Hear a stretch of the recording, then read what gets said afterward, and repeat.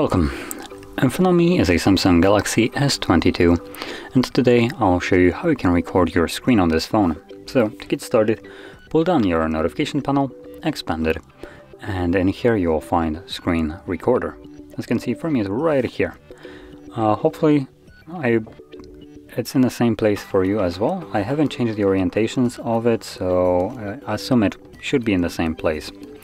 Anyway, once you find it, you can either tap on it to immediately just start recording or you can hold it and this will take you to the semi-limited options that you have right here. So let's scroll down just a little bit for the screen recorder. The first one is for screenshots. So there we go. And in here we have uh, sounds, so choose what kind of sounds will be recorded. By default it is, uh, these are all the defaults. So by default it is uh, media sound, which uh, I think is the better option. You can also choose media and mic, though I would recommend using headphones with that so the phone won't record uh, sound like twice that is coming from the speakers, creating an unwanted echo effect.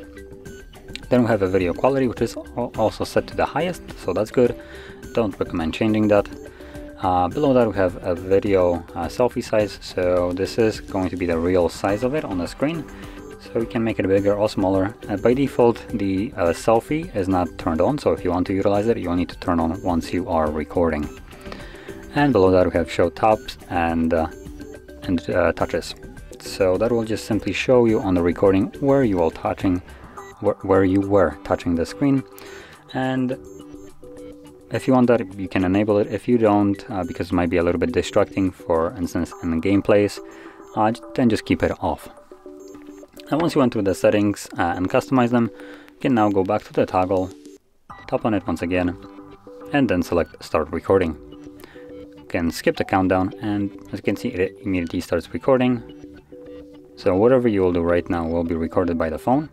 You can also pause the video, as you can see, You can, while it's paused, you can do drawings. You can also do that while recording if you want to. Uh, Additionally, obviously, you can also add your little camera right here. So let's actually start recording again. So there we go.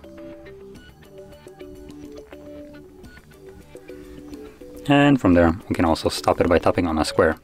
This will automatically save our recording into our gallery application. So let's open it up and navigate to screen recordings where obviously we will have our screen recording.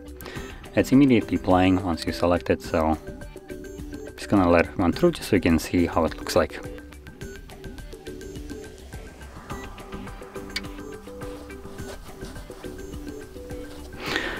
So there we go, that is how you could record your screen and if you found this very helpful don't forget to hit like, subscribe and thanks for watching.